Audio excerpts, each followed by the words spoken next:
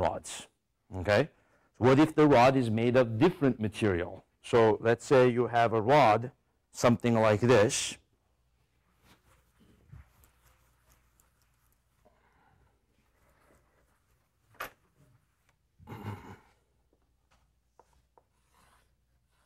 So example 2, lambda is equal to kappa x cubed. So usually I just pick some kind of constant here. It doesn't matter what the constant is.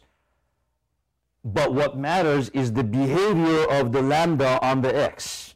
So in other words, this rod, according to this equation, this rod is made of material here that has almost no density. You know, it's like maybe you could glue, let's say, cotton, start out with cotton, a bunch of cotton balls, and then keep getting denser, denser, denser, you know, wood. Keep getting denser, denser, denser, denser, denser, denser, you know, aluminum, da, da, da, da, da, until you get to platinum, platinum some kind of a weird rod glued by different material, you know. So basically, Im imagine that kind of a rod. Or another thing you could imagine is something like this. Okay. Oh, let's see here. Like a baseball kind of situation. This one is the same material, but you have a bigger concentration of mass here. So it's almost analogous to this, where it's some kind of object that looks like this, you know, that has more mass concentration here. So its center of mass is going to be here. It's not going to be in its middle. Same thing for this rod. It could be platinum, so it could be denser material here. So its center of mass is here.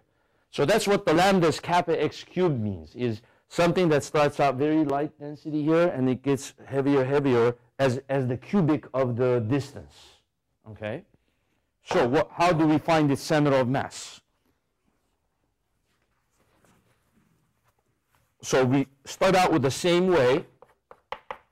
x center of mass equals integral 0 to L x lambda dx over integral 0 to L lambda dx. So the top one has an extra x. The bottom is lambda dx. Now, the difference this time is you cannot factor the lambda out of the integral since it's not constant anymore. So you're going to put here lambda is kappa x cubed. Over here, you're going to put kappa x cubed. Okay. And then the kappa will come out of the integral because it's just some constant. In other words, the kappa is something that tells you what are the different materials that you've glued together, you know, and what are their densities. So uh, it's, that's, that's the kappa. But the x cubed is the one that tells you how fast the density increases. Okay, so when kappa comes out, it cancels. So we don't need to know that. So then you have uh, integral 0 to L x to the fourth dx over integral 0 to L x cubed dx. Then integrate that. You have on top what? X to the fifth over 5, 0 to L. x to the fourth over 4, 0 to L and then you uh, put the L in, so you're going to have what? L5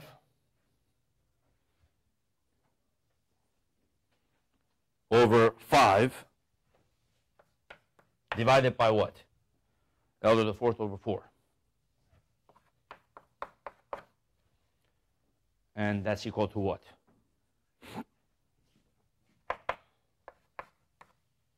4 fifths of what? Okay. Now notice, interestingly, the final answer is some coefficient times L. If I ended up with something like that, what would that tell me about my answer? That means immediately you know the answer is wrong. Because how can the center of mass be proportional to the length squared? The units don't even match. You see, if this is meter, it can't be meter square here. It's got to be meter meter. So remember, units is very important. So if this is meter, this has to also be something meter, you know. So your final answer should always be some coefficient, something, times the, the length L. So notice what? That uh, brought the center of mass all the way to 80%, 80% of the length of the rod, somewhere here. Someone had a question? Yeah, since you have the same limits and you are integrating with respect to x, can you simplify before Uh, you mean what? Uh, simplify this and this? Yeah, because it's 0 to L, you could, but I wouldn't, you know, because you don't want to get used to simplifying and then get in trouble if one, if the limits were not 0 to L, yeah. Okay, so now, um, how about if the, let's try a different density function. How about if the density function was kappa x squared? Okay, what would the answer be? So you would go through, we could now do it a little quicker, quicker since we know the, the pattern here.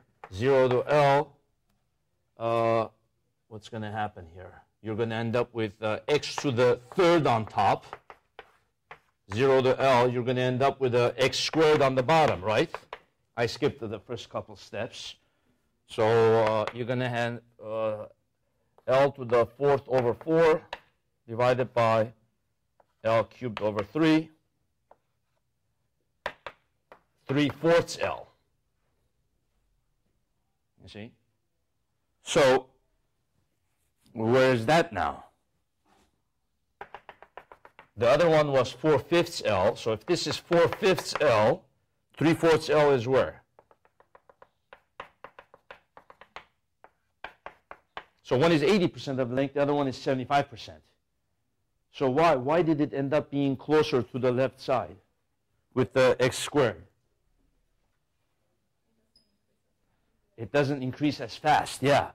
That means the density here is not that much more than the density there if an x squared function. So it doesn't increase as much. x cubed increases more, quicker. How about something like this? Lambda is equal to kappa,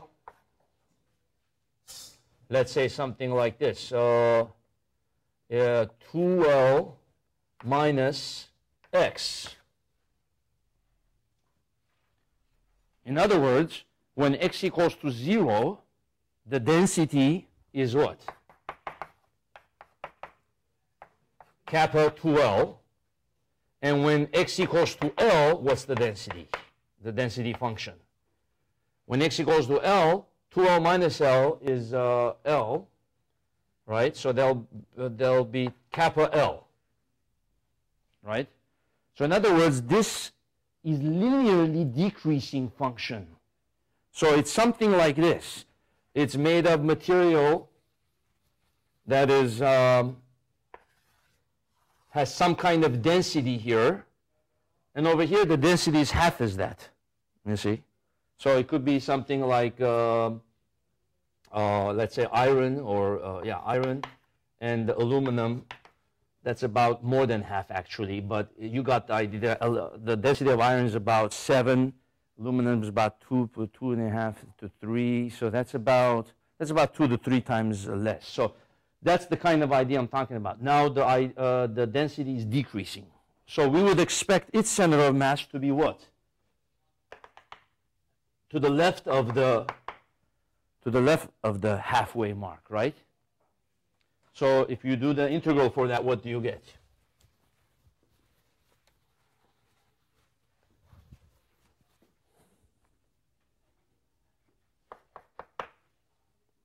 So you're going to end up with uh, integral 0 to L x times lambda dx over integral 0 to L without the x, the x missing,